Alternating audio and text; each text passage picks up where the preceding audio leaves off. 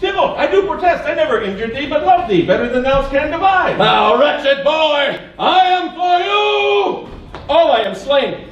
It's basically three guys that just want to do all of Shakespeare's shows in an hour and a half to two hours, and they have no idea what they're doing, and they don't even know some of Shakespeare's shows. Now a Othello loved Jesse like a dinosaur Venus, and Jesse loved Othello because he had a big sword.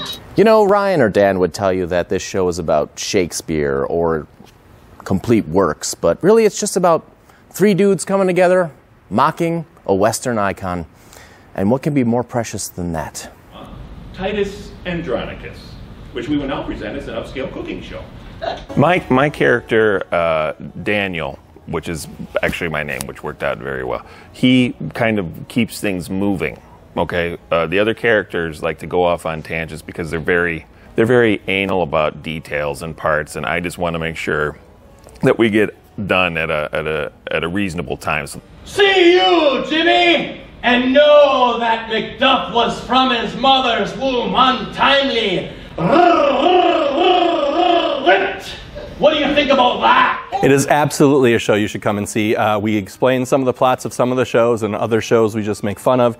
You don't have to understand Shakespeare to understand the jokes.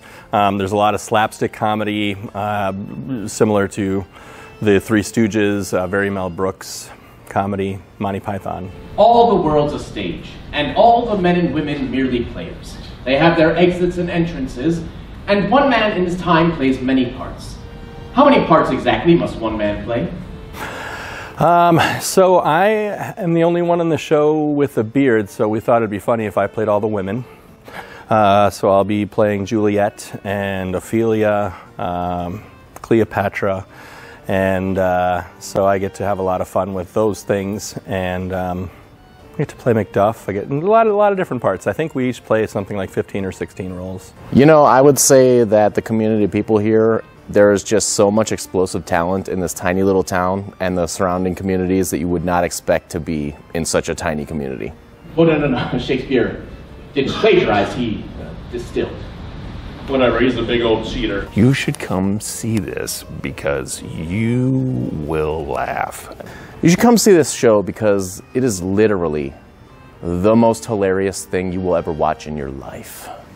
And uh, last night, uh, some of the people that were leaving said they haven't last, laughed this much in years, and they laughed so hard their cheeks actually hurt. We'll meet again. Nowhere, no when. And Romeo and Juliet are dead. Thank you, BDACT. Good night.